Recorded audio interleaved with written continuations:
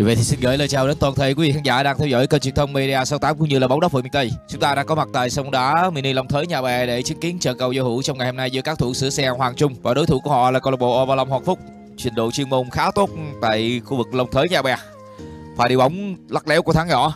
Bởi con. Tuy nhiên cú dứt điểm lại đi không chính xác. Các bạn cùng theo dõi lại pha đáp trả mà các thủ bên phía đội bóng áo xanh đã triển khai. Tình huống bật rất cao để đánh đầu nhưng chưa hướng bóng đi chính xác tình huống cắt bóng hụt của năm đô và đây là thời cơ dành cho thừa bali đường căng ngang, khoảng trống, kết thúc cú dứt điểm, không thành công. Vẫn là pha áp sát quyết liệt. Tuy nhiên thì các cầu thủ bên phía đội bóng áo đỏ đang có phần hơi bối rối trong việc phòng ngự. Hai đội bóng vẫn đang kèm người một cách chủ động và ngăn chặn đối phương để hạn chế những pha tiếp cận không thành. Đường chiến tốt và khoảng trống nữa dành cho các cầu thủ bên phía đội bóng xanh dứt điểm rất nguy hiểm. Xây sở rất hay, cơ hội dành cho dầu pele. Dứt điểm treo góc không vào cú đá góc hẹp chưa đủ nguy hiểm. Pha xây sở của số 10 đối phương vẫn đang vây ráp quyết liệt bằng tình huống lấy bóng của Nguyễn Nam, cơ hội trở lại với các thủ đó được chuyền ngay và đây là khoảng trống đối mặt dành cho các chân sút của Hoàng Phúc hơi khó cho pha xây sở của Hoàng Phúc tốc độ của trận đấu đang diễn ra ở một tốc độ rất nhanh. Đột phá quỷ ba tề qua người thành công, một cơ hội nữa. Để bóng ra dứt điểm không được. Chưa có pha dứt điểm thành công dành cho dầu lê rất tốt. Có khoảng trống nữa dành cho Nguyễn Nam. Pha giảng xếp rất hay, không vào Khá đáng tiếc cho cơ hội vừa rồi.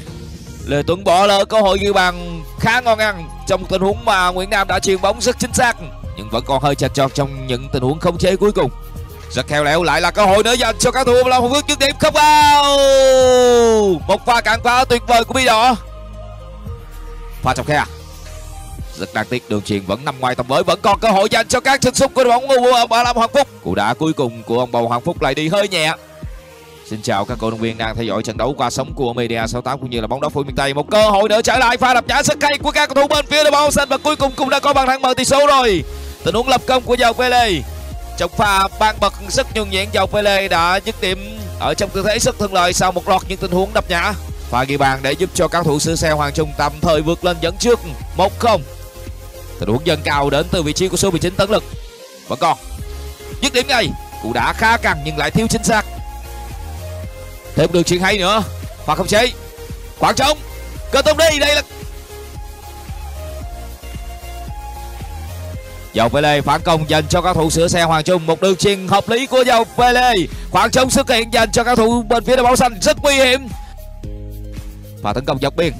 Vẫn còn thêm pha sẽ đánh rất cay, khoảng trống đối mặt dành cho chú trạch chú trạch căng ngang, dứt điểm. Cơ tung đi, không vào. Quá đáng tiếc cho cơ hội này. Họ đã tạo ra những cơ hội ăn bàn nhưng chưa tận dụng được. Thêm một pha dứt điểm từ xa nữa. Liên tục là những tình huống cản phá vất vả. Cơ hội nữa. Đã có lỗi cao chân. Hàng tá những cơ hội. Một tình huống kéo bóng khá khéo léo của số 19 tiếp tục là pha phối hợp tốt của các thủ bên phía và làm Hồng quốc. Đường căng ngang. Rất nguy hiểm nhưng bóng đã đi vọt xa pha đột phá của tấn lực, cú tỉa bóng bằng cú vẩy mang ngoài không thành công, thêm pha dứt điểm nữa. Rất đáng tiếc những pha ra chân liên tiếp của các chân sút bên phía u35 hoàng phúc vẫn chưa thể mang lại bàn thắng. Một tình huống áp sát khoảng trống căng ngang, cơ hội hai không được và khống chế chưa được gọn gàng. Quá đáng tiếc cho cơ hội vừa rồi dành cho các thủ bên phía đội bóng sửa xe hoàng trung. Hai bên đều không để cho đối phương có được khoảng trống hiểu bảo đã nhắn anh năm đô và anh đông cạp vào sân. Như vậy thì sau những nỗ lực các cầu thủ bên phía đội áo đỏ là có được bàn thắng gỡ hòa như vậy thì lê tuấn đã ghi bàn. Tỷ số được sang bằng một đều dành cho các cầu thủ bên phía đội bóng u35 hoàng phúc. Tưởng chừng như hiệp 1 sẽ khép lại với lợi thế dành cho các cầu thủ bên phía đội bóng sửa xe hoàng trung, nhưng lê tuấn đã tạo nên đột biến với tình huống xử lý rất hay. Pha xoay sở cực kỳ khéo léo để vượt qua đối phương và một tình huống sửa bóng về phía góc xa. Thời điểm này thì số 7 đã rời sân để nghỉ dưỡng sức. Trong khi đó thì anh đông cạp xuất hiện muộn ở ờ, trên sân. Một tình huống nguy hiểm nữa. Bóng đã đi vào lưới rồi. Pha bóng vừa rồi với tình huống tranh chấp quyết liệt và nó đã lăn vào lưới. Trọng tài cũng đã đổi coi kết thúc hiệp thi đấu đầu tiên sau bàn thắng vừa rồi. Bất ngờ đã xảy ra lợi thế dẫn trước 2-1 dành cho u làm hoàng phúc với tình huống lập công của cầu thủ mang chiếc áo số 5 tiến cơ. Tiến cơ ghi bàn để đưa các thủ bên phía đội bóng u hoàng phúc vượt lên dẫn trước. Cú đá của dòng Pele. Tình huống rất nguy hiểm. Một cầu thủ phòng ngự của đội bóng U35 Hoàng Phúc đã kịp thời phá bóng ngay trên vạch vôi. Xoay người đưa bóng vào bên trong. Vẫn còn, tiếp tục là vị trí của cú dứt điểm, cú đá bất ngờ của đức tâm. Rất đáng tiếc là bóng đã đi trên khung thành. Không sẽ khá tốt. Tình huống bắn lên. Dứt điểm, chưa thể có được pha tiếp cận dành cho đức tâm. Đã có tiếng còi của trọng tài. Chúng ta cùng chờ xem quyết định. Có lẽ đó là một tình huống để bóng chạm tay của các hậu vệ bên phía đội áo xanh trong vòng cấm địa. Đây sẽ là cơ hội để cho các thủ áo đỏ nới rộng cách biệt tình huống chủ động, đá bóng ra ngoài của Nguyễn Nam. Pha bóng mà số 8 đã quyết định dứt điểm ra ngoài.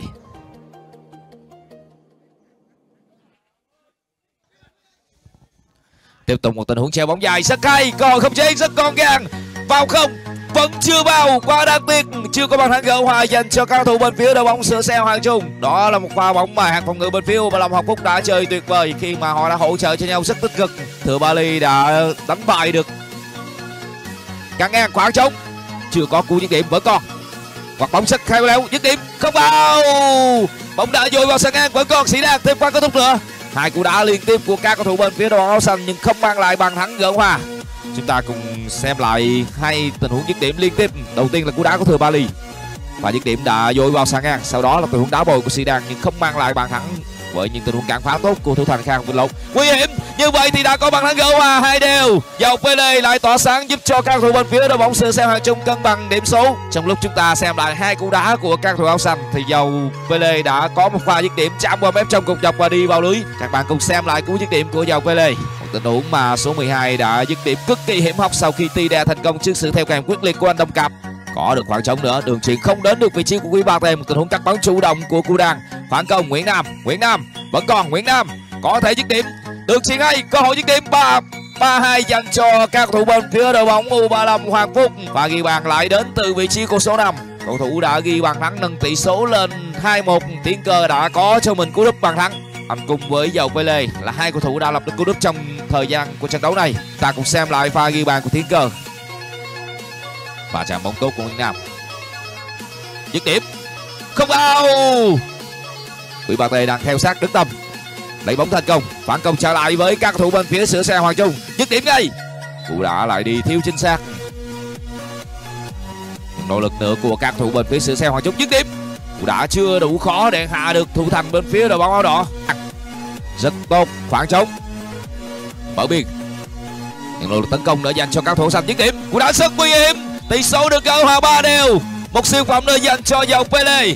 Hat-trick dành cho vị trí của cầu thủ mang chiếc áo số 12 với những pha dứt điểm từ xa, bóng đi cực kỳ hiểm hấp. lần thứ hai, anh dứt điểm đập vào mép trong cột dọc và đi luôn vào lưới trước sự bất lực của thủ thành bên phía đội bóng U35 Hoàng Phúc. Các bạn cùng nhìn lại pha dứt điểm từ xa này cú đá không quá căng. Tuy nhiên nó đi cực kỳ hiểm hóc.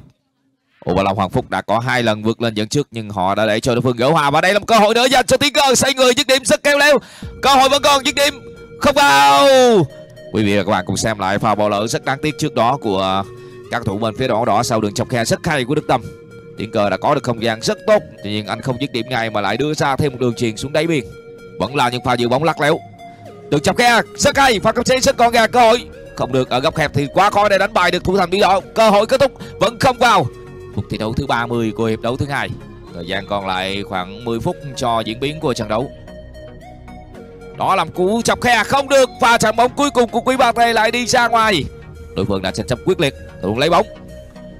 Đối phương vẫn ngăn cản và cơ hội nữa dành cho nguyễn nam. Cú đá ngay và dứt điểm đi vọt xa bóng lại về chân của quý ba tê thêm pha dứt điểm, tình huống hướng bóng về phía góc cao không thành công của cầu thủ mang chiếc áo số 3 và tiểu bóng không vượt qua được các thủ áo xanh. Phản công trở lại với các thủ sửa xe hoàng trung. Khoảng trống rất lớn dành cho vị trí số 2 qua người, dứt điểm đi. Cú đá về phía góc xa không vào. Một tình huống mà thủ thành khang ngọc vịnh lộn đã chơi xuất sắc.